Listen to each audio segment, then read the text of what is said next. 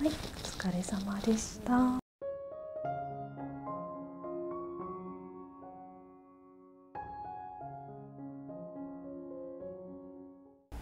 い、背中いきますね。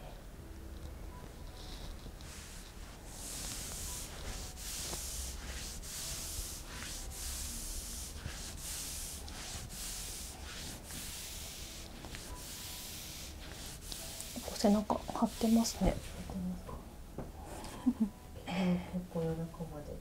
特に疲れてるところとかあります？特にここってとこはない。うんうん。じゃあ全体的にやっていきますね。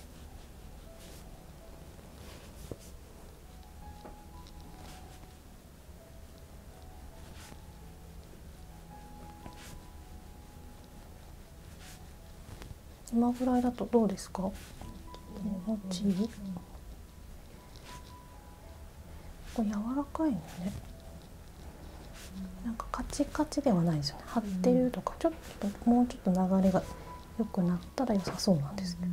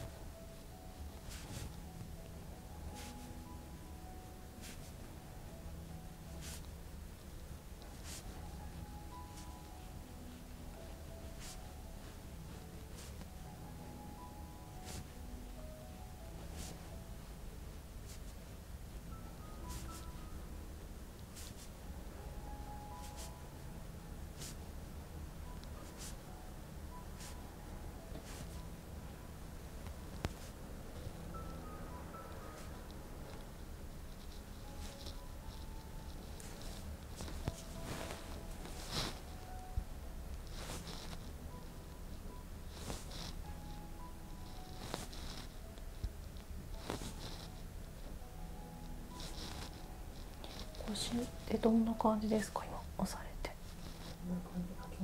気持ちいい結構硬いですね。こっちに比べるとなんか固まってる。ねなんかし職業病的な。うん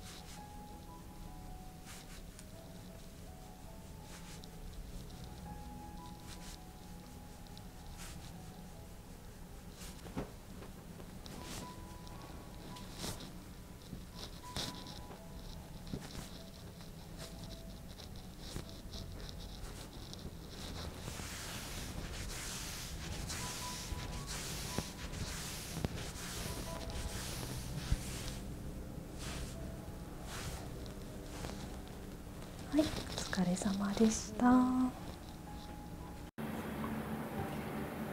最後まで動画を見てくださってありがとうございます。